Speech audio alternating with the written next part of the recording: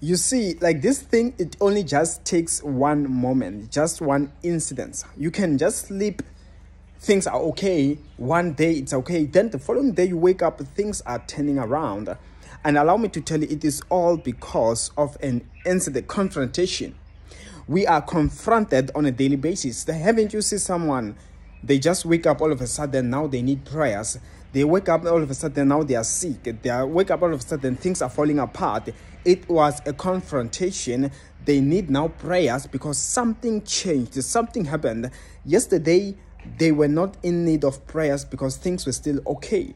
Let me tell you, the enemy is gunning for you. The enemy is coming after you, but fear not. The Lord is with you right now. A dangerous confrontation.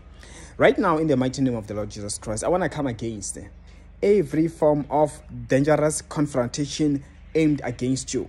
They will all not prosper, I declare and I declare, and I seal this with the blood of the Lord Jesus Christ. I pray, Amen. And of course, that's all I had. My details on the comment section below. See you next time.